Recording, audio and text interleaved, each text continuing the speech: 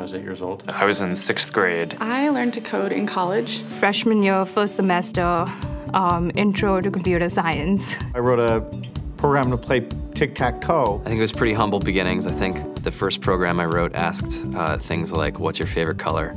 Or how old are you? I first learned how to make a green circle and a red square appear on the screen. The first time I actually had something come up and say, hello world, and it, the, I made a computer do that, it was just astonishing. Learning how to program didn't start off as wanting to learn all of computer science or, um, or trying to master this discipline or anything like that. It just started off because I wanted to do this one simple thing. I wanted to make something that was fun for myself and, and my sisters. And I wrote this little program and then basically just add a little bit to it. And then when I needed to learn something new, I looked it up either in a book or on the internet and then added a little bit to it. It's really not unlike kind of playing an instrument or something, or, or, or you know, or playing a sport.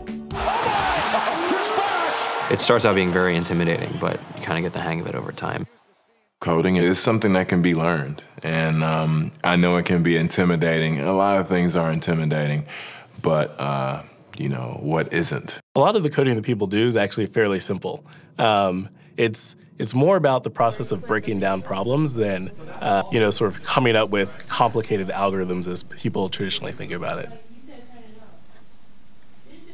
You don't have to be a genius to know how to code. You need to be determined addition, subtraction, uh, that, that's about it. You should probably know your multiplication tables. you don't have to be a genius to code. Do you have to be a genius to read? Even if you want to become a race car driver or play baseball um, or, uh, you know, build a house, all of these things have been turned upside down by software. What it is is, you know, computers are, are everywhere. You want to work in agriculture? Do you want to work in entertainment? Do you want to work in manufacturing? You know, it's, it's just all over.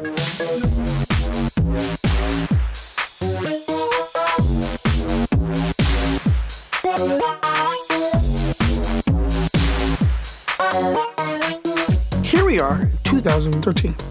We all depend on technology to communicate, to bank, information, and none of us know how to read and write code. When I was in school, I was in this after school group called the Whiz Kids. And when people found out, they laughed at me and, you know, all these things. And I'm like, man, I don't care. I think it's cool. And, you know, I'm learning a lot. And some of my friends have jobs. Our policy is literally to hire as many talented engineers as we can find. The whole limit in the system is just that there just aren't enough people who are trained and have these skills today. To get the very best people, we try to make the office as awesome as possible.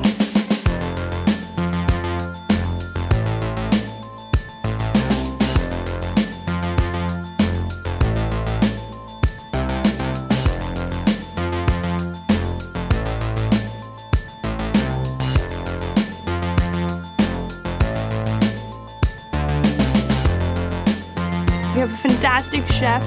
Free food breakfast, lunch, and dinner. Free laundry. Snacks.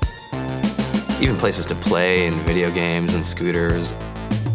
There's all these kind of interesting things uh, around the office and places where people can play or relax um, or go to think or play music or be creative.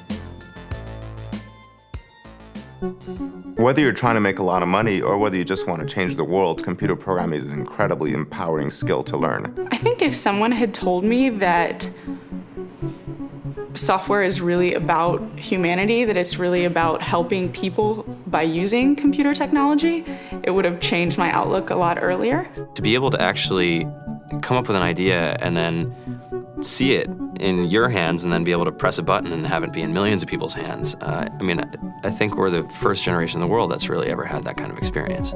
Just to think that I mean, you can start something in you know, your college dorm room and you can have a set of people who haven't built a big company before come together and build something that a billion people use as part of their, their daily lives is, is just crazy to think about, right? It's really, it's humbling and it's amazing. The programmers of tomorrow are the wizards of the future. You know, you're gonna look like you have magic powers compared to everybody else. I think it's amazing. It's, I think it's the closest thing we have to a superpower. Great coders are today's rock stars. That's it.